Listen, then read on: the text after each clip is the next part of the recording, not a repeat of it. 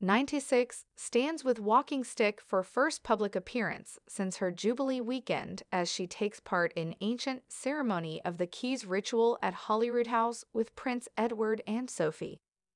The Queen looked ecstatic to be back at work today after she traveled to Scotland for her first public duties since the Platinum Jubilee.